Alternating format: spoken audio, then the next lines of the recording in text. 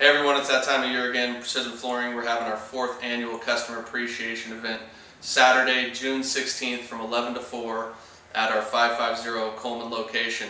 Uh, got a lot of really cool things planned. We're going to start the day off right about 10:30. My dad, Don Guppins, will be doing a free uh, do-it-yourself floating hardwood installation clinic. Uh, we're going to be uh, installing product cares.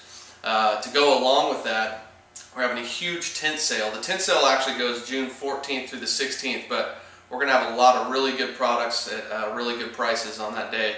So uh, come take a look at that. Uh, we also remodeled our showroom. Want your feedback on how everything's laid out? Come take a look at it. We'll be doing uh, showroom tours all day, giving product reviews.